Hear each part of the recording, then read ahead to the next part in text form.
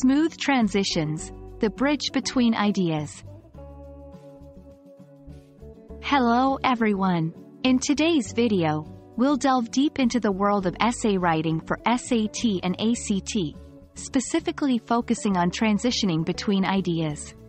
Transition words and phrases play a pivotal role in ensuring that your essay flows smoothly, and today, we'll explore how to use these effectively.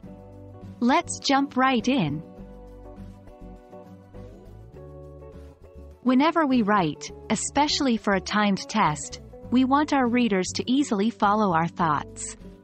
Transitional words and phrases act like bridges, connecting one idea to the next.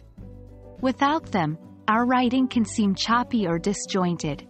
By effectively using these transitions, we not only enhance the flow but also strengthen the logic and coherence of our essays. Now, let's take a look at some commonly used transitional words and phrases. 1. Addition. Moreover, furthermore, in addition, also. 2. Example. I love reading books. Moreover, I have a vast collection at home. 3. Contrast. However, on the other hand, conversely, nonetheless. 4. Example. The weather was cold. However, they decided to go for a walk. 5. Cause and effect. Because, therefore, consequently, as a result. 6. Example. He didn't study for the test. As a result, he scored poorly. 7. Sequence.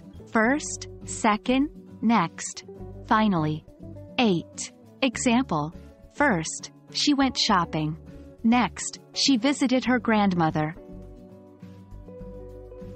Remember, the key is to select the most appropriate transitional word or phrase for the context. Don't just throw them in randomly.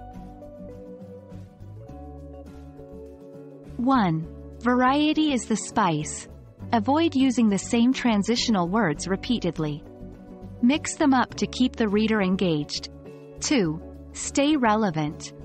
Ensure that the transitional word or phrase you choose is relevant to the point you're making. 3.